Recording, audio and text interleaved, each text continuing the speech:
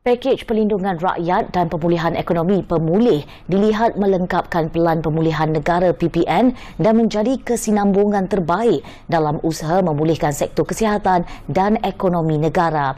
Dan pemulih juga meneruskan keberkesanan pencapaian-pencapaian dilaksanakan dalam pakej dilancarkan sebelum ini. Kita dapati ada tiga fokus kan Ya. Uh, yang pertamanya ialah meneruskan agenda prihatin rakyat. Yang kedua menyokong perniagaan dan yang ketiganya adalah meningkatkan vaksinasi. Hmm. Jadi uh, kalau kita bandingkan antara kedua-dua ini kita akan dapati uh, keselarian ataupun konsistensi ya antara hmm. uh, PPN uh, Pelan Pemulihan Negara itu dengan pakej pemulih itu sendiri. Hmm. So itu dari satu uh, dari satu perspektif lah. Ya.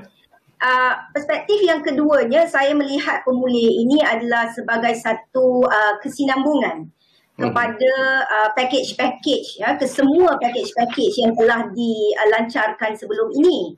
Antara aspek yang boleh dibanggakan dengan pencapaian pemulih kadar vaksinasi negara yang tinggi ketika ini dan ia juga merupakan kejayaan serta usaha semua pihak atau integrated whole of society di bawah kerajaan pusat, negeri dan swasta yang bersama-sama berganding bahu dalam meningkatkan kadar vaksinasi umpamanya melalui pusat pemberian vaksin PPV bergerak.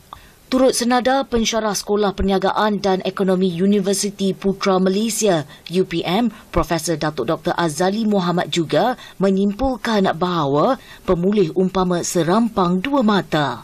Saya dapati pemulih ini uh, ya. satu bentuk pelan yang uh, serampang dua mata very terlalu uh, amat fokus kepada menyelesaikan isu kesihatan rakyat hmm. ya. negara dan akhirnya hmm. memulihkan ekonomi. So dia hmm. berjalan serentak. Okay. Uh, kalau sebelum ini package-package tu tersasar ya. Perhatian tu menyasarkan kepada kumpulan tertentu, sasaran tertentu. Yeah. Uh, tapi yang menariknya pemulih ini ialah dia menyasarkan kepada uh, isu kesihatan. Beliau berkata pengenalan pemulih dilihat sejajar dengan indikator yang perlu diselesaikan terlebih dahulu iaitu berkaitan kesihatan sebelum memperluaskannya kepada perkara yang lain iaitu pemulihan ekonomi dan sebagainya. Perdana Menteri Tan Sri Muhyiddin Yassin 28 Jun lepas mengumumkan pakej pelindungan rakyat dan pemulihan ekonomi pemulih bernilai 150 bilion ringgit bertujuan memberi bantuan menyeluruh kepada rakyat dalam berdepan penularan wabak COVID-19. Pakej itu merangkumi suntikan langsung fiskal kerajaan 10 bilion ringgit.